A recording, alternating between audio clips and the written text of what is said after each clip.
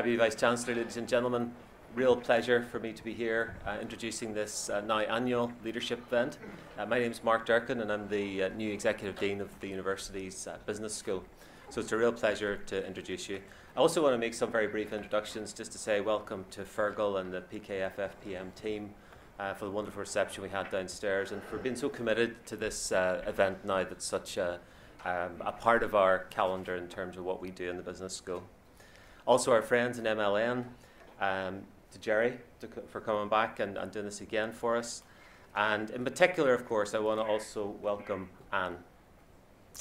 The Ulster University Business School aspires to be the leading business school for entrepreneurial education, research, and impact in the UK and Ireland by 2021. The impact of our research is already rated as being seventh in the UK and all of the business education portfolio that we offer is in the UK top 10 according to the National Student Survey. Now, being a leader in entrepreneurial education means having a curriculum that is imbued with a focus on opportunity creation and delivering those programs in new and innovative ways. And to be honest, most important to me are behaviours, behaving entrepreneurially in our attitude to calculated risk and a shared obsession with the creation of value for our students, our stakeholders, and the wider regional economy. Anne's a role model for both entrepreneurial thought and action. She's a role model for both males and females. But where Northern Ireland still has 50% fewer females than males, seeing self employment as an option, the focus on female entrepreneurship is especially important. Leading Canadian professor Barbara Orser was on this campus around eight weeks ago talking about that very thing. And that night, I committed to strengthening our focus in the business school on female entrepreneurship. And I'm glad to update you that work is progressing well under the leadership of our Professor of Entrepreneurship, Pauric McGowan, and many external stakeholders. Indeed, we have a further roundtable from the one that we had with Barbara already planned in the coming weeks with the support of our friends in Business First. And I'm also delighted to tell you that the Ulster University Business School, together with our colleagues in Research and Impact in the university, are putting £20,000 towards the development of some specific thinking and actions in the female entrepreneurship space between now and the summer. You didn't come here to hear me. I want to close by thanking you for coming along to this very prestigious event, and I hope you have a really enjoyable morning. I'm going to hand over to Gerry. Thank you very much.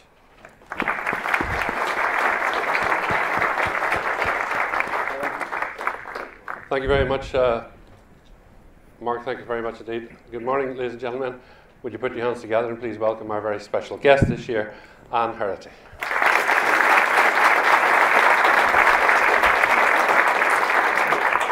Welcome to Belfast.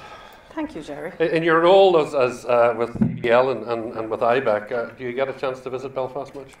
I do, actually. I'm up in Belfast quite a lot now because uh, we have an office here in Belfast and an office in Derry.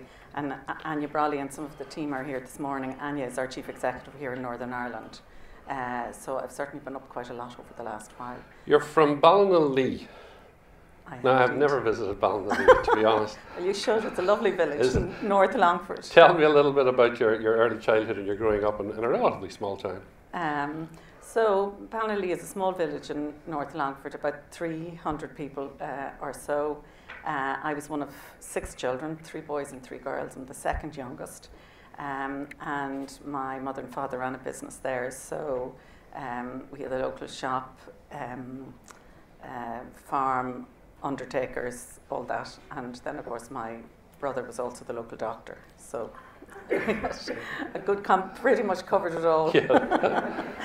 and w- did you work in, in the business? Uh, yeah, absolutely. From from we were tiny, um, we all had our jobs to do and our responsibilities. And then your father died and your mother con- continued on So yeah, my father died uh, when I was 16, and my mother was really the driver of the business in a lot of ways. My my father was almost like an engineer at heart, even though he never did engineering, but he loved, you know, fixing things. He loved working with machinery. He loved farming, probably much more than he liked the business side of things. Although he did, of course, work in the business. Was it ever expected that, that you would stay on and, and stay in the business and grow the business there? No, uh, we were, you know, for all the fact that my mother was a real driver of the business, she was still quite traditional. It was always going to go to one of my brothers. There was never a question. Was, educa- was, ed- was education important in the family? Uh, education was hugely important in the family, and my mother would have been always very keen that we would all um, travel also and go abroad, but she really pushed education hard. so you went to UCD Yeah. to study maths and economics. Yeah. Did you have a plan then? Did you know what you wanted to do? Not a clue. and in fact, I really just fell into maths and economics um, by accident. And, um, and I pretty much enjoyed my time in UCD. I'd have to say I took the scenic route. Um, I wasn't what you'd call the best student in the world. It was there for a year or two, then I dropped out for a year or two, then I went back eventually and finished up. So, yeah. But no idea, no plan for a specific job or No anything? plan. Um, I thought about lots of things. Um, very quickly after I leave, left college, I explored a number of things. I looked at doing law and I started to do a law course, and I didn't really stick with that for very long. I realised it wasn't for me. And then uh, I thought about teaching, but that wasn't really for me either. And then I um, eventually I did one of these start your own business courses um, with which was, which was the precursor of FÁS. Yes. And I really enjoyed that, and I came up with some great and wonderful ideas about what, we, what I was going to do in terms of starting a business, but I never actually got one off the ground. Um, But you discovered you had some entrepreneurial skills then, yeah, and I think, uh, you know, I would have always, working in the family business at home, I would have actually quite liked to have stayed in that business. And I would have worked in it much longer than my brothers and sisters actually, because right through college I would have, every time I went back home, I would have worked in the business. And I really enjoyed that. And I enjoyed the connection with people, with the customers coming in and out and all that. And I actually thought it was great fun. So you came out with, it with a BA. Yeah. What was the work prospects like in Dublin at that time when you, when you came out of UCD? But that was in 1984, and actually there were really none. Um, so I really pretty much did, you know, odd jobs. I worked in a record shop. I worked in a nightclub. I worked in lots of different things, and then eventually, my friends were sort of saying to me, "Look, you're going to have to get a proper job." And I registered with a recruitment agency. I know it doesn't sound great, does it? wasn't a very auspicious start, but I registered with a recruitment company, and um, they had a job going in telesales with Xerox. So, So what was your job there? What did you have to uh, do? so I started in telesales. Telesales was quite a new thing then. So that was about 1986, I think. And um, so essentially selling over the phone. So I was selling products, consumables, paper, all that sort of thing over the phone. And of course, when I got in there, I absolutely loved it. I loved the whole idea of selling. I really liked all that. I'd found a bit of a niche. And then I couldn't wait to get out on the road and get a car. That was my next big goal. I wasn't actually making big long term goals. It was like all these sales guys have their own car. I need to have my own car. So, um, so after about six months, I got uh, I got a job on the road selling typewriters, and they were huge typewriters. I just can't imagine them. They were the heaviest typewriters on the market. They were the biggest. So every office you'd go into, the, you know, while Xerox had a phenomenal reputation and great reliability, when you'd go into an office with this big typewriter, you know, you could see the secretary looking, and saying, "Oh, that's going to take up my whole desk," and you know, there was just one line of memory on it, and all this sort of stuff. So it had to be innovative in terms of how you'd convince people to that this was the best product for them. Were you, were you good at it? Were you good at the sales? Yeah, I think I was actually. I think I was. I built good relationships, you know, and uh, yeah, I had some success at it. So from sales, where did you go? You went into recruitment then?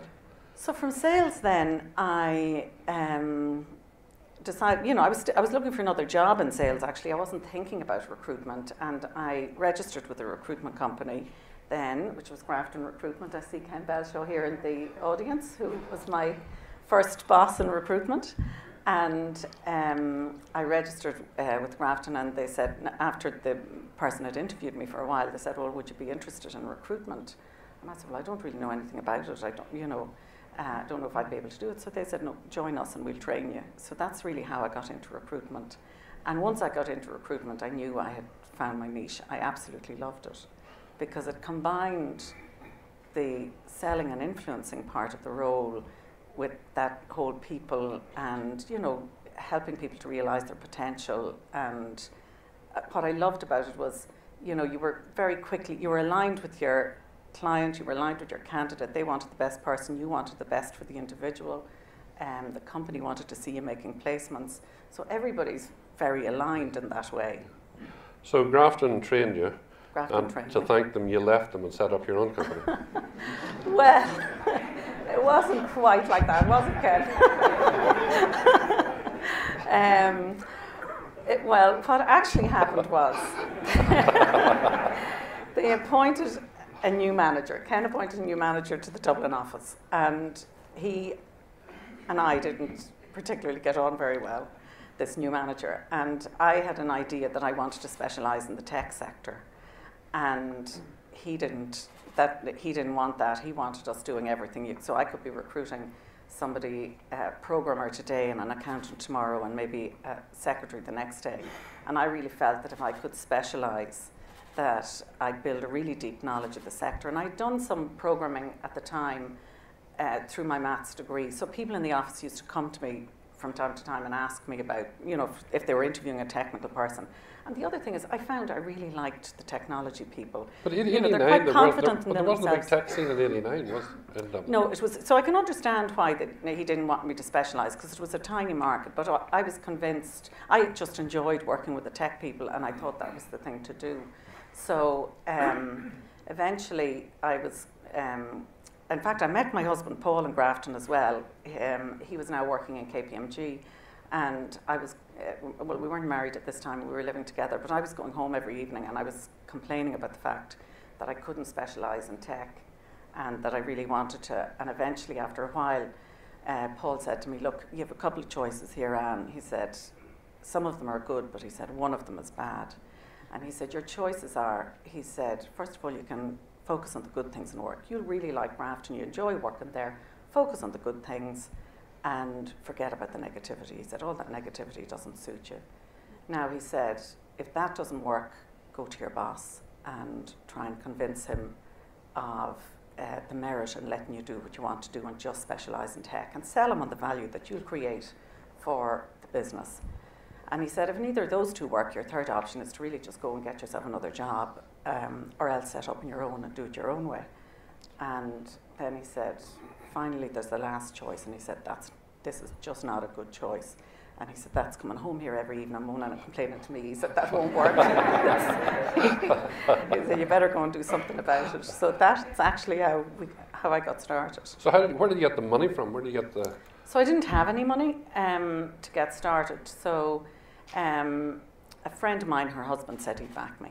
And that's how I got started. Well, that was the start of CPL. That was the start of CPL. So that it was- was literally just me and a desk and a phone. and that was 1989. It was the end of 1989.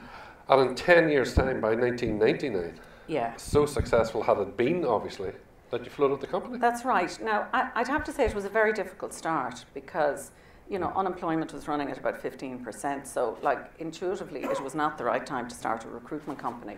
And, you know, for about the first two years, I was constantly uh, interviewing people who were being made redundant, people with really tough stories. But, you know, like all these things, if you treat people well, they'll come back to you. And um, so I was very focused on doing the best I could. And also in terms of our clients, you know, we really had to work hard to gain their respect. And I suppose at that time I learned very much to measure our success really about the clients who recommended us to others rather than in re- really in monetary terms. And um, we worked really hard through those years. And I think in a lot of ways a recession is a good time to set up a business because you can you kind of cut your teeth and you bootstrap and then when things start to improve you're ready. So and that's really what happened to us.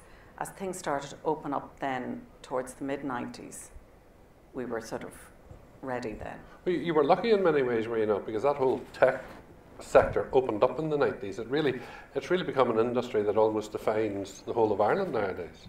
You were in the right place at the right time. I was in the, eh, absolutely lucky, and I and I suppose that's the thing for me now. I think you've got to have luck for you know in terms of business. You've got to be lucky, and also too, your I think timing is everything. Yeah. So you know, while I didn't know about the time and timing, I was lucky in getting the timing right. So 1999, you, you floated the company. Yeah. Why? How, So- tell, tell me the lead up to that decision. So, I suppose at that time, then, um, I worked really hard through the 90s building the business, and you know, it becomes all consuming, really. That's the reality of it. And I'd had my daughter in 1994, and I suppose I had a really good team around me, people who had worked with me from the outset or are still with us. And I wanted to give them an opportunity to participate in some of the success of the business. Um, so, by bringing the company public, they could get um, share options and participate in the success of the company. So that was one. It also meant that now at that time we were very focused on just staying in tech because that's where the market was, but we also wanted to expand further. So we were raising some money in order to do some acquisitions, um, and I suppose they were the two kind of big reasons really um, for going public for us. Your, your husband came on board at this stage. By this stage, My he was husband working. came on board in 1996, and um, Paul, I suppose, had a different skill set to me and had a huge impact on the business in that um, he now had worked with companies like KPMG and Intel and then with Gateway. So he'd seen things from the other side and looked at it very much from the point of view of the corporate trying to hire. And I suppose he understood, I had never really, other than my days in Xerox when I was selling, really dealt with big corporates in terms of, you know, that whole selling structure and, and, and how you uh, interact with them. So Paul was quite very influential in terms of bringing that side of the business on. in general terms, did you want to be your own boss? I think always. But yet, in, in 99, when you floated the company, that was the last thing you were going to be because you now had to answer to a board, you had to answer to shareholders. That's right, but being your own boss doesn't mean you're not answerable to somebody. You're always answerable. You know, whether you're answerable to yourself, to the bank, to a board, like you're always answerable to somebody. How do you find the board? How do you, how do you find it? Is it easy to you? Does it come easy to you to talk to a board, to talk to shareholders? Um, we have a really good board, and um, they've been certainly very instrumental, I would say, also to, particularly in terms of the governance and growth of the company. And I think we're known as a company with strong values. You know, we'd be seen as pretty conservative in terms of um, how we handle our business. Um, and certainly the board have been great for me. They've been great advisors. You know, I, like really, I came out of college in 84. I was in business on my own by 89. I hadn't had what you'd call a lot of opportunity to um, get really deep experience. And the board have certainly been great for me in that way in terms of tapping into really good and wise advice, I'd say. And I think the other thing that's really hard, and I think while it's great to see um, the kind of leadership um, th- initiatives that are going on here in the university, it is very hard for um, small business owners and founders to tap into actually good leadership training, I would think. And I feel quite strongly about that. And I wish I had more of it early on in my career. We'll talk more about leadership in a moment, but let me take you to where the company is today. Just how big is the company today? So today we have just over um, 10,000 people working on client sites, both um, here in Ireland, in the UK, and across Central and Eastern Europe. Uh, we have um, 750 internal employees. Um, we have 36 offices, 10 countries, um, And 433 million pounds turnover. and revenue 400. That's not Yeah. bad, Chestnut. Yeah, no, it's not too bad.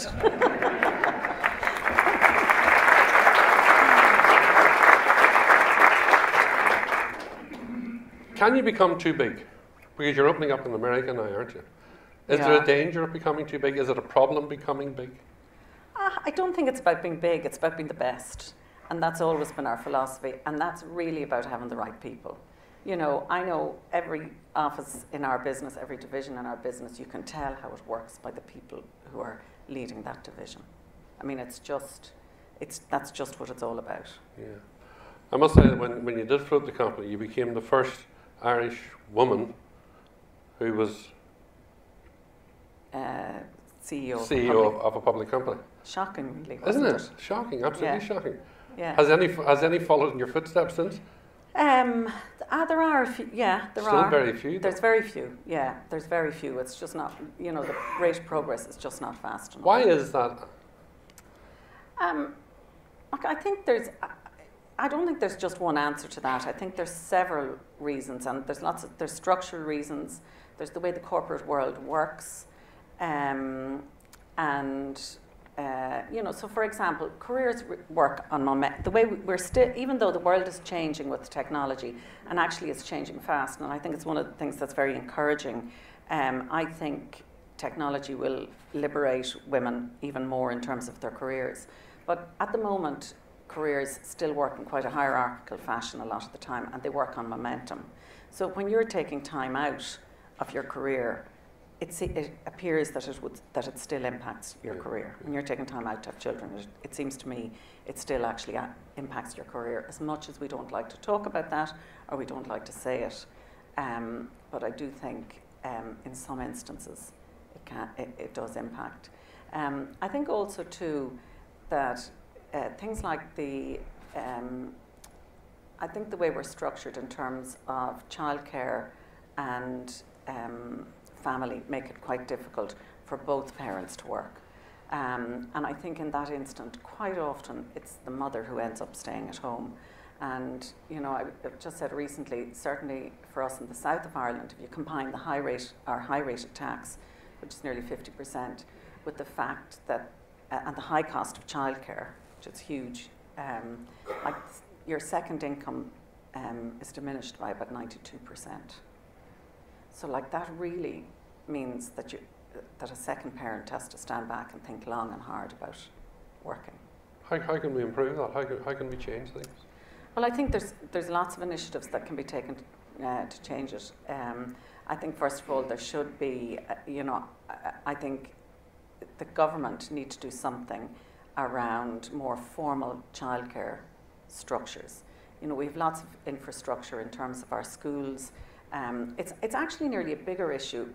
Funny enough, when you have your children first, and this was my own experience, and you have them in full time childcare, that's fine. Then you get to the stage where you send them to primary school, and suddenly they're finished at two o'clock or three o'clock. So now you can't really afford, you almost have to pay as much as if they were in full time childcare. So I think we could utilise there must be a way of utilising our schools that are empty um, in the afternoons in a much better way in terms of after school care.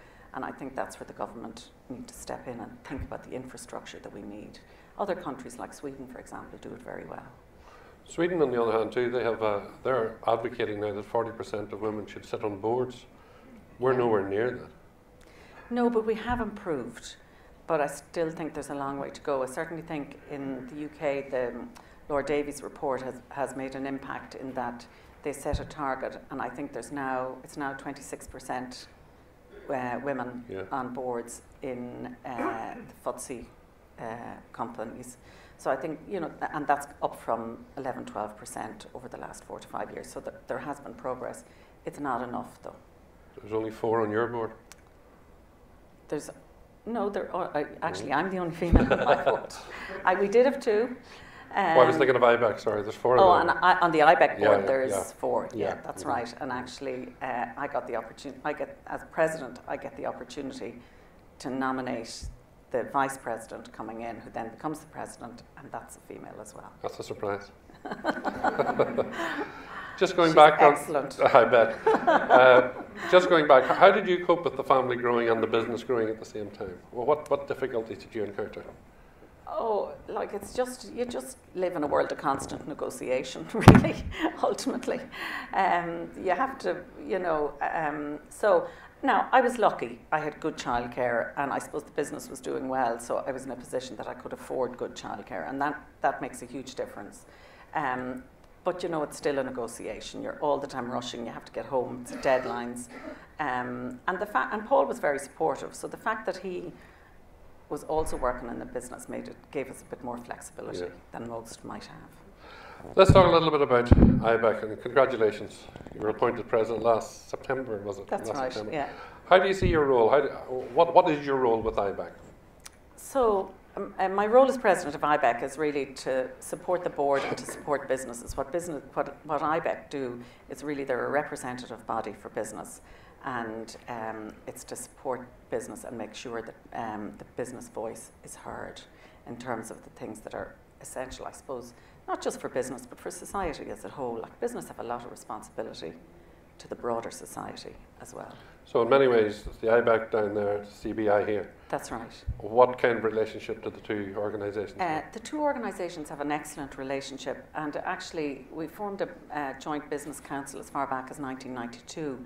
So, businesses have been working very well on the island, and you know, the IBEC and CBI very much have a shared vision um, for an all island economy of 10 million people by um, 2050, by the mid century. Um, that's prosperous and that has a good quality of life for people, really. And IBEC are, I suppose, very um, committed to that ideal and committed to working with the uh, CBI in terms of a connected economy. Has Brexit ruined many of the plans? Um, no, I don't think so. I think now more than ever, businesses need to work closely together. I think rather than, you know, I mean, there's a, there's a lot of talk, you know, say, for example, um, the UK is our biggest market in the Republic in terms of exporting, and there's a lot of talk that we'll have to divert um, or, and try and transition from those markets to other markets. Now, that's not, first of all, that's not a simple thing to do. It takes a long time to build new markets, and um, you know, we're very similar to the UK. Um, we find the UK very easy to do business with. And I actually think our, our emphasis needs to be on almost building stronger relationships. Of course, we have to open new markets too, but I think we should be looking, business should be looking to build stronger relationships, and the same north and south. And actually, even at a university level as well, I think it's going to be really critical that there's rela- really strong relationships at an education level on the whole island also too. But uh, you know, with with UK leaving the single market and, and the customs union, that must present a lot of problems for yourselves. It is. It's going to. uh, It will present um, significant challenges for for us, and um, I guess as business people, we're just going to have to uh, stay close to those challenges um, and work through them. Um, I think at the moment it's virtually unforecastable. It's unknowable to know how this is going to turn out. Um, at the moment, you have a real sense of a sort of calm before the storm. The Irish economy is powering along. Um, I know when I talk to people here in Northern Ireland, they say things are great on the ground. In the UK, the consu- you know, it's very much a consumer-driven um, recovery there, and things seem to be good.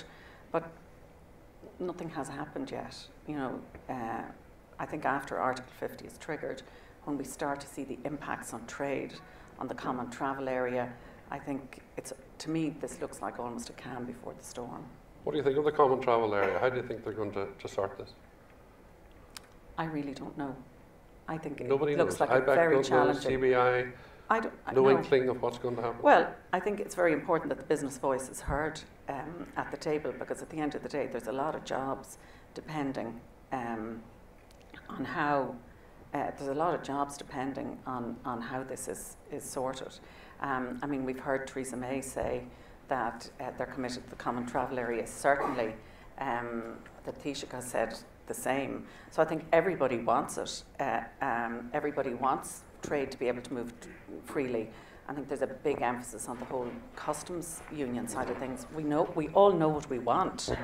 Uh, the thing we have to try and understand now is how can we achieve it, and what part will the EU play in that? I mean, the EU have been um, pretty silent so far in terms of negotiations. So, um, yeah, I think there are big challenges ahead for us.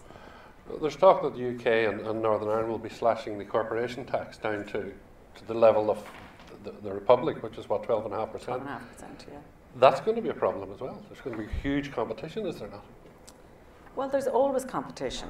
I think there's always competition, and um, I don't see that as the major challenge for us because I think, you know, our industrial policy for the last 50 years has been built on foreign direct investment, and it is, while of course the tax rate is critically important, it's more than just tax. Um, you know, we also have a way of doing business. If you think about it, companies like IBM are in Ireland since the mid 50s, Pfizer is there since the late 60s, Microsoft is there for 30 years. I mean, this, these are embedded um, with us. So uh, uh, so there's real substance there, and I think that's the important thing. There's real substance. There's Irish people working right across those corporations globally, um, and um, certainly we'll have to compete and compete hard, but we'll compete on things like skills, education, um, you know, good legal system, good protection of intellectual property, um, good access to the European market, of course, which we will have.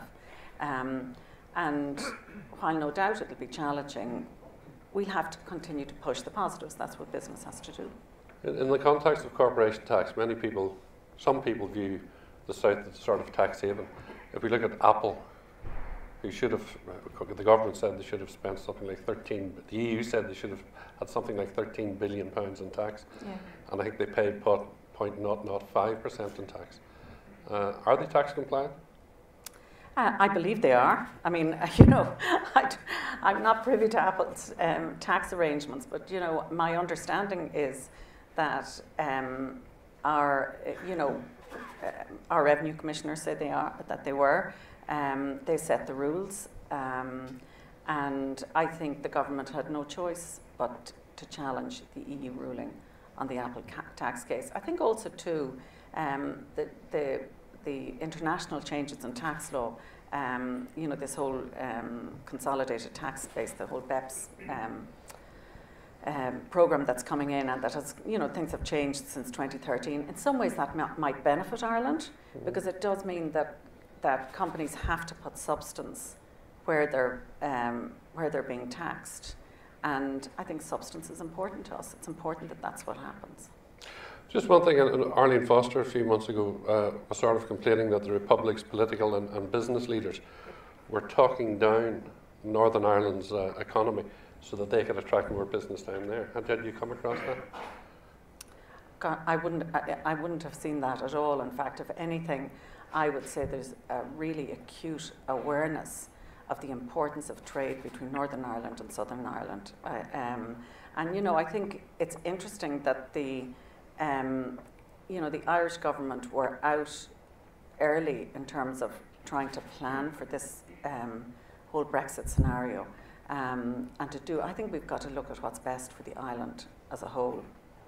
You know, we're a small island at the end of the day. We're on the edge of Europe. I think we've got, you know, that kind of thinking doesn't work to, for me. I think we've got to, to put the good of all the people on the island forward first. Brexit we sort of saw coming. Donald Trump we didn't see coming. What to know? How's, yeah. How is what he's been doing and saying these past few weeks, how's, how's it going to impact on us here, North and South?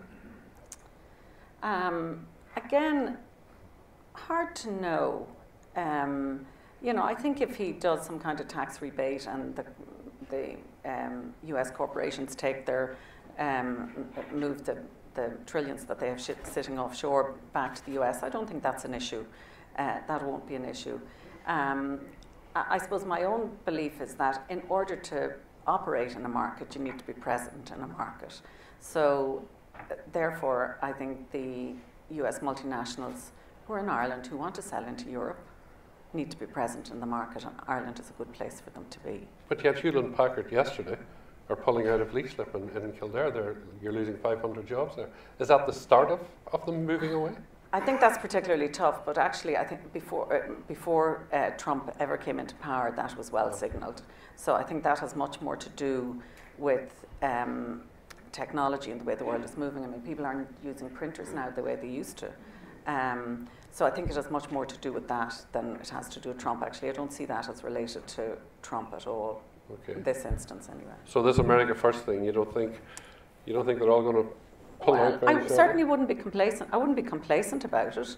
Um, I wouldn't be complacent about it. But you know, you've got to remember that Irish companies employ more people in the US than US companies employ in Ireland. Uh-huh. You know, which is quite like we don't advertise that nearly enough. Overall, then, maybe just change subject and get a little bit more personal. How, how would you describe your leadership style? I would say I'm collaborative. Um, I have huge belief and respect for the team that I work with um, and for their capability. Um, so yeah, that's you know that's how I, I, In fact, I think about leadership much more about uh, is much more around relationships. Um, I think leadership is not really about your role or your title or what position you hold. It's much more about your ability to, to influence and to build relationships with others. Yeah. And I think if you can build good, strong relationships, then you can lead. CEOs nowadays, though, tend to be come from the accountancy background, the money background, Yeah. uh, because the bottom line that seems to be all that counts. You're more of a a people's person? Yeah, I definitely came through this. I think you see CEOs come through many different routes. You'll often see them come through the sales route. Uh, certainly, when times are tough, you see them particularly come through the count, accounting Yeah. route. But I think when you're in a more um, growth focused phase, you'll see people come more from a sales. A lot of companies now, CEOs come through the engineering route. I mean, they come through many different routes. I don't really see it as kind of, you know, one particular type of role or skill set leads you to the CEO. Um, I think it's much more about the business, the type of company you are. Um, But is the bottom line always the most important line? well, there's always competing things, but you know, if you don't deliver, um, you can't do. You know, if you're not profitable and not delivering, you can't do very much. You know, either for your people or for your customers or for anybody else. So I mean, fundamentally, you've got to be profitable. How has your style changed over the past 20 odd years that you started? Well, I've learned a lot. Um, I've learned a lot over the last uh, number of years. I, um, uh, I think I've probably become a bit more decisive than I would have been. I'd have taken a long time thinking about things, you know, before making decisions. So I think I might have become a bit more decisive. Um, I think uh, I absolutely understand now that the most important thing a leader has to do is to put the right people in the right jobs. Like I don't think there's any, you know, as a leader, you make your life so much easier if you put if you have the right people around you. And are you good at delegating? And is delegation important? I'm better than I used to be, for sure. And um, uh, I think delegation is hugely important because I see delegation almost like empowerment, empowering people.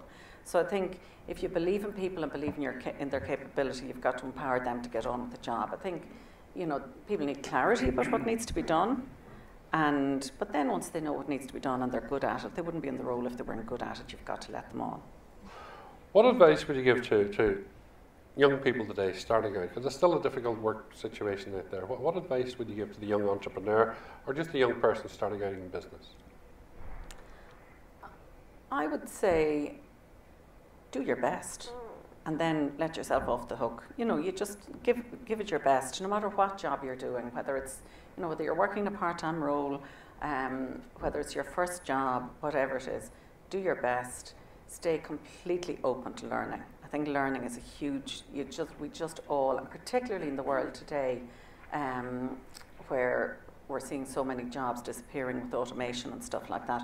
I think we don't re- we haven't fully gotten our heads around what's coming down the tracks uh, to us with, with the advances, advances in technology. So I just think that willingness to learn, the, you know, is really important. So there would be the two things: do your best and be willing to learn. Stay curious. I think that's And not be frightened of failure? absolutely not. You know, I mean, there's Does failure worry you? No, in some ways, there's no such thing as failure, really. Um, provided you handle it well and and you you think about it as an opportunity to learn. I mean, nobody ever gets it right all the time. I certainly don't. Um, but as long as you think about it, you know, at the end of your day, as long as you think, what went right today? What could I have done better? What did I learn from it? You know, I think you'll steer a fairly even path. What was the toughest part over the past 20, 30 years for you?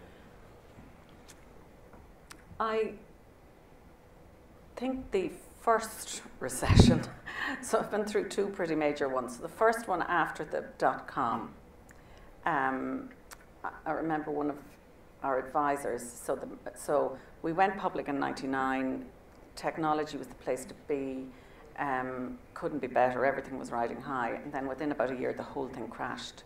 So you're suddenly trying to deal with all this, and you're also trying to deal with the fact that you're in the public eye as well, so everybody can see every mistake you make. And um, I remember one of my advisors sitting across the table from me and just saying, like, Anne, you'd be better off getting out of this now. Like, if you just think about it, you're going to work for the next 10 years just to get back to where you are, where you were. last year. And then what? And that was, you know, that was pretty tough, but I'm not a quitter. You're very steely, feisty. Well, and you'll tell you. What's been your, your greatest achievement, do you think? Um, I think in business, if it's in business, um, if it's in business, it's definitely the team that I have around me, um, without a shadow of a doubt. Um, I think, in terms of personal life, my two kids, fabulous. For your age, what now, 21 Uh, and 21 and 14? 14, yeah. And what, what are they doing with their lives? Following your mum's footsteps and dad's Uh, footsteps? not really. Amy is doing um, law and business in Trinity, and I don't know what she'll do after that. And then um, Peter's just doing his junior cert, and he just wants to be a chess player. He just wants to be interested. Where do you see the business going in the next five, ten years? What are your plans for the future? Um, well, as you said earlier, we're opening in the States um, in March, and uh, I'd like us to uh, continue to grow our presence here on this island. Um, I think there's a good opportunity for us in the UK, depending on you know how things happen. Um, and I'd also uh, like us to see, see us getting some good market share in the US. You can't win many more awards, can you? Oh, well, awards are much more Business and. Finance Hold Business a minute. Person of the Year. You've won the Ernst and Young Entrepreneur of the Year. Uh, you've won the Image Businesswoman of the Year. Uh, yeah, but that's, you know, like at the end of the day, I wouldn't be winning any of those. I'm only collecting them on behalf of the team in CPL, and that's actually the reality of it. Um, because without the team, without them growing the business, I wouldn't be really, you know, that's, they're the facts. Very modest, Dan. Well, Very. Any any secret little uh, guilty pleasures? oh, I know what you're talking, thinking of. No, it's not that. No. Only she's not You're wearing them slagging me about my shoes. She wears Christian Louboutin shoes. For the men in here, you haven't have a clue what that means. The women, the women know exactly what it means. And if you see a wee red sole, you'll know all about it. But you know wee red soles on today. No. You know wee red No.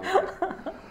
And I think uh, we'll open up for questions because I'm sure there are much more intelligent questions uh, to come from from the uh, from the audience. Now, Feargal has introduced a, a, an innovation this year. Normally, we get a microphone going round, and it takes time to set it up. We now have a ball with a microphone in it. Feargal discovered this in a hall or somewhere one night. And if you want to ask a question, put your hand up and we will throw the ball to you. You turn it around to the little black spot and there's a microphone in it. And we could set the business up doing this. Have you ever recruited the wrong person within your own organisation, and how did you deal with it? Did you manage them out, or did you work with them and move them aside? Yeah, um, I have recruited. Uh, I have recruited the, uh, uh, on occasion the wrong person. I mean, the one thing about recruitment is it's not an exact science, and uh, you do get much better at it. And the important thing is that you're making more right decisions. You know that you're that tipping the balance in the right direction there. But I think the most important thing of all is to very quickly, if the person isn't right for the organisation, make that decision very quickly, uh, and help them move on to something else. Anyone else think there's people over here? Go on, throw it. We got a bit of crack in you.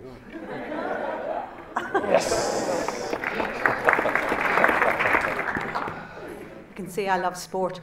Um, Anne, will you sp- speak a little bit about how you moved your business from the, traditional just recruitment, people in, put them into jobs, uh, to what you, you did uh, in relation to extending the services you gave to or give to customers, as in how you end up with 10,000 people on site, the type of uh, services you offer to employers. Does that make sense? Yeah, Yeah. it does indeed. So, um, so if you think about how the um, if you think about how the world of employment is changing, actually, at the moment before our very eyes, um, people want to work on a much more flexible basis. So. Um, individuals for lots of different reasons. It may be that they're studying, it may be work-life balance uh, reason, and maybe um, to do with family life or whatever. Um, people much more now uh, want to work on a flexible basis. As well as that, at the same time, um, the large corporates also want flexibility to meet the peaks and troughs of demands for their services and products. And therefore, they like to keep about 20, what we would see with, a lot, um, with most of the big, bigger companies is they like to keep about 20% of their people on a flexible basis. Now, that can be anything from um, uh, a temp, you know, somebody just working on a temporary basis uh, right through to fully outsourcing a function. And we want to be able to work with our customers right along that whole continuum. So everything to do with the whole people process. So right from putting the person in a permanent job, supplying them with one or two people on a temporary basis, or right up to fully outsourcing um, a function for them. Uh, and we, we do each of that along the way. So for example, um, we would run a number of shared services centres for some of our clients. We employ the staff, uh, we manage them, and um, we deliver the service then to our client, or indeed sometimes to their end clients, um, whichever it is. And that's how we've ended up right along that, that continuum.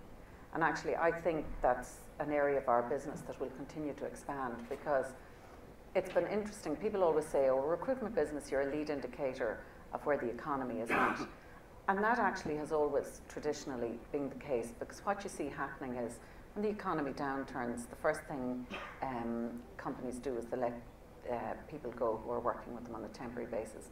Then they let them next, it's their, uh, or they stop hiring on a permanent basis. Then they let people go who are working on a temporary basis with them. Then they cut into their own uh, staff and let um, people go there. But when you go into recovery mode, the first thing they do is they start to hire people back on a temporary basis. Then they start to move into hiring people permanently. Um, what was very interesting, though, for us as a company in the last recession, which was really tough, in the whole um, banking um, global recession, our permanent placement business fell off a cliff. Now, our temporary and contract and outsourcing business certainly reduced as well. It dropped by about 18, 19%. But it very quickly started to grow again, even actually through the recession. So it was much more resilient. And, and I think that's because of the trend towards much more flexible working. Thank you. Anyone else? All right, where's, the, where's our football? Yeah, go on. There we go. Well done. Um, apart from Gerry Kelly, who inspires you and why? And what qualities do they have? Um, I suppose my mother has really been the biggest inspiration for me, and the kind of qualities that come to mind was her absolute. You know, she was really committed to integrity. Integrity was a huge value of hers. Uh, so that part of building your character um, and uh, being really ethical and straight about what you do. In the world of business, who inspires you? Oh gosh, um, there, I just have a whole range of people.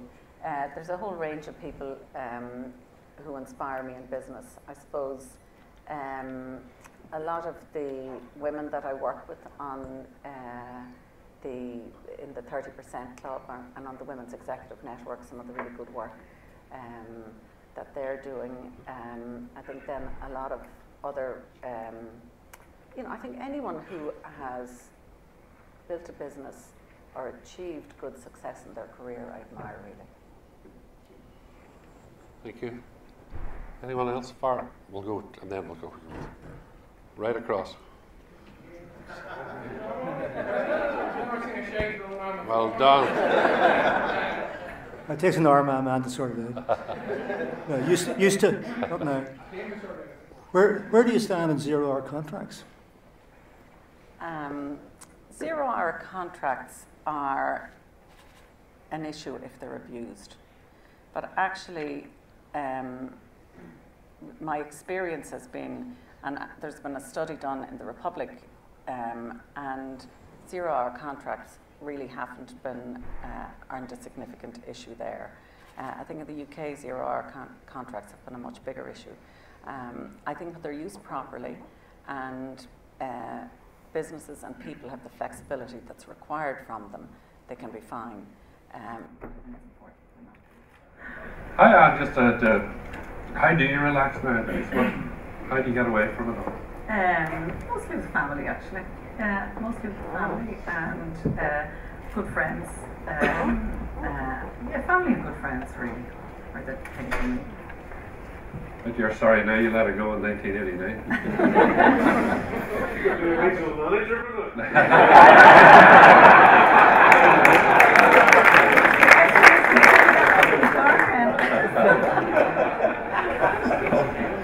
It's, uh, thank you so much for your time today. It's been an absolute joy talking to you. Will you please give a round of applause for us?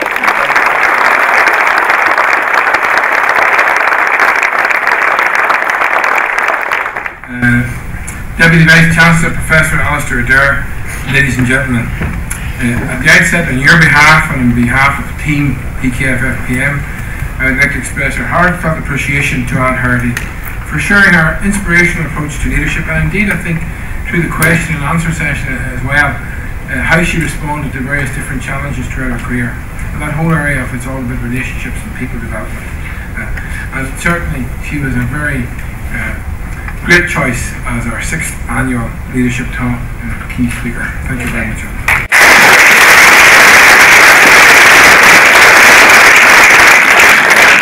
It's obvious uh, that this morning's discussion, uh, from this morning's discussion, that uh, the Longford born lady now based in Dublin. And by the way, Joe Woods, I think it was Joe Woods. I didn't see him. I heard the voice. My father was a blacksmith, so there you are. who began her career in uh, Xerox, where she was one of Ireland's first tele sales workers, as she told us. Subsequently moved to Grafton Recruitment, and it is great to see the joint founder of Grafton Recruitment here today, Ken Belshaw, where she began that 30-year career uh, in the recruitment sector and the creation of, as we've heard now, that the international uh, CPL quoted uh, on both the Irish and the London Stock Exchanges. But certainly, people-centred and passionate that, and I thought some of the things that I thought came through today was she was trying to suggest, I think, that people should back themselves. You know, they don't have to be born entrepreneurs. They can back themselves, believe in themselves, and ultimately believe in their ideas. And Alan's passion for business aligned to a clear set of values, which she referred to again this morning, her values, was clearly evident this morning. I thought as she traced her career from telesales to, to becoming that first, first female CEO of an Irish public PLC. And she shared with us the over 10,000 uh, people working in climate projects, the 433 million euros, a lot of money. CEO of a company, 433 million euros, and her great team around her. And I think it was refreshing to reflect on Anne's comment, got it right. I think she said, there is no such thing as failure. Fantastic comment. I think what she was also implying was that success and failure are two sides of the same coin just experiences. And she kept putting it, I think Gerry had said to her a few times with a problem. I noticed she shifted the feet a wee bit and she referred to challenges. But always challenges. She relished uh, addressing challenges with positivity. Um, it is fitting also that Anne's success in business world has been widely recognised, as she was uh, quite humble about, with prestigious awards virtually matched by no other Irish person at present. Uh, Ernst Young Entrepreneur of the Year in 2006, Finance and Business Person of the Year in 2014, and Image Businesswoman of the Year in 2015. Not to mention the President of IBEC, which might been referred to last September. Yes, Anne Heraty is a true international leadership success who carries her success very lightly. And in any review of Ireland's distinguished visionary and business entrepreneurs, the name of Anne Heraty will be recognised as a pioneer and a trailblazer for Irish business and Irish businesswomen. How privileged and indeed honoured we all are to have been in Anne's presence today. Thank you again.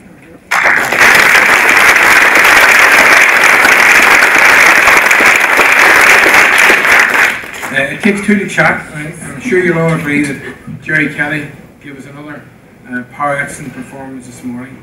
And really it's fair to say that central to his enormous achievements in broadcasting is the man himself, uh, Gerry Kelly. And once again, uh, his class and attention to detail in terms of research and delivery were clearly demonstrated in the exquisite performance. Thank you, Gerry, for making such a...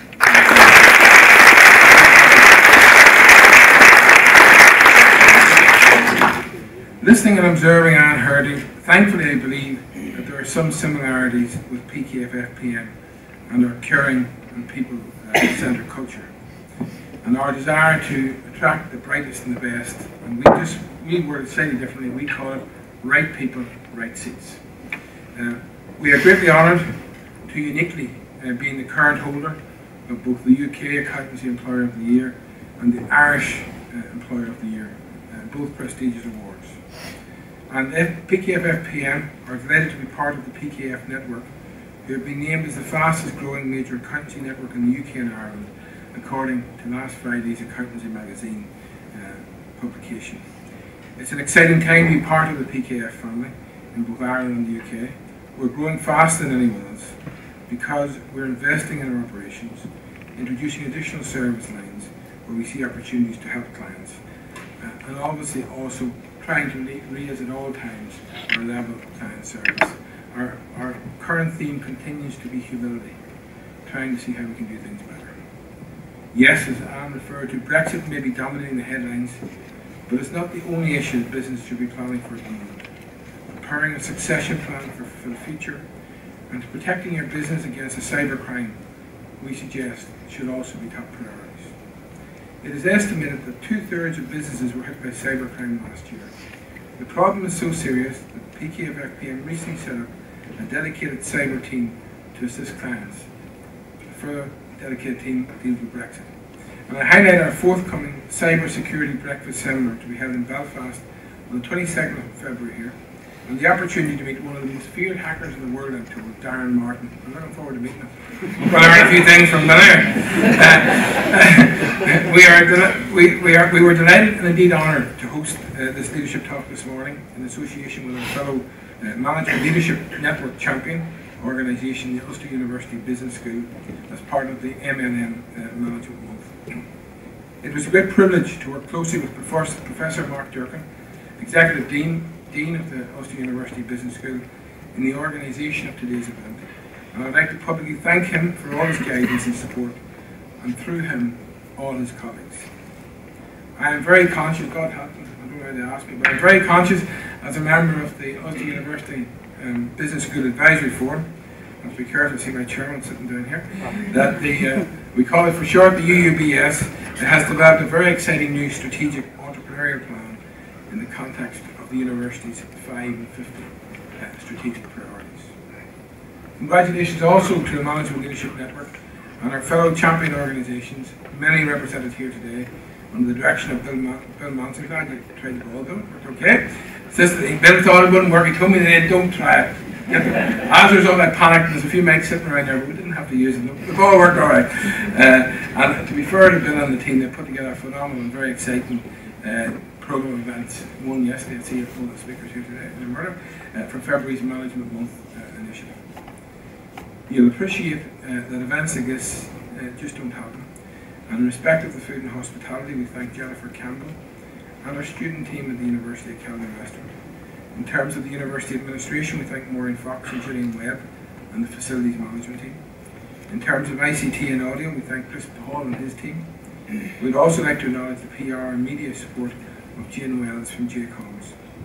We'd like to thank Simon Mooney and Mooney Media for all their assistance in terms of design, printing and artwork, and also uh, Darren McCoy for the video, and not forgetting uh, our very well. Dapper photographer, you may notice he doesn't like wearing ties, There aren't Mooney, but he wants you to notice his, his jackets because he's different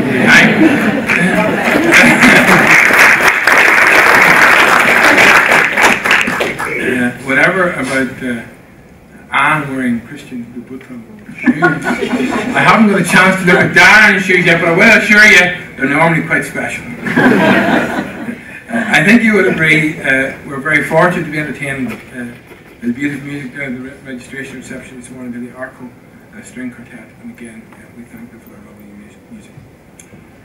Indeed, I'm conscious as I get up each morning how fortunate and honoured I am to lead a positive team PKF FPM. I mean, we, we call team working together, everybody achieves more.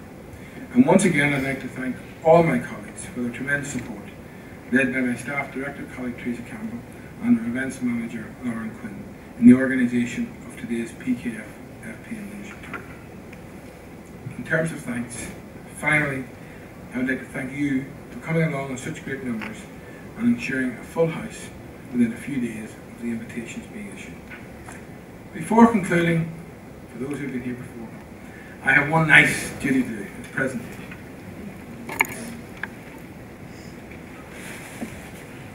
I have to be very careful, I open it. Better explain this. There's a lady called on her in here. And believe it or not, she didn't wear them today, you see that bit of red? Christian, of Christian uh, Britain shoes hang on the table. She didn't tell you today, but I think she's an avid skier. I don't think I know it in her family.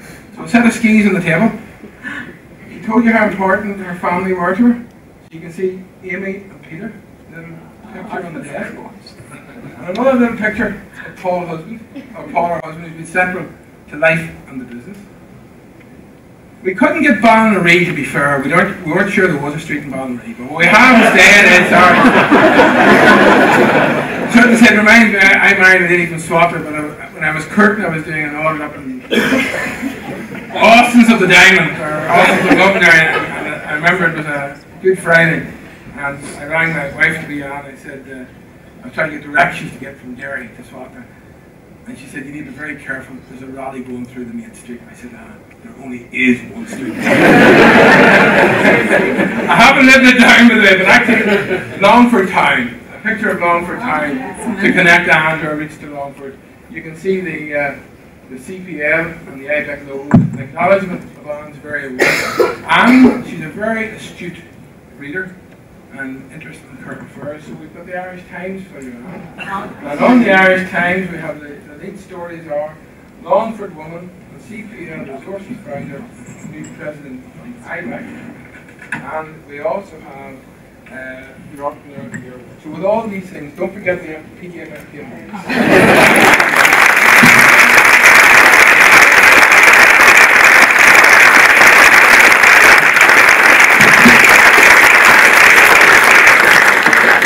I should acknowledge the artist Brenton Pierce from Dublin. It's. Uh, a unique piece. Thank you all very much. Another very memorable event, and we thank you for joining us in such a large numbers. Thank you.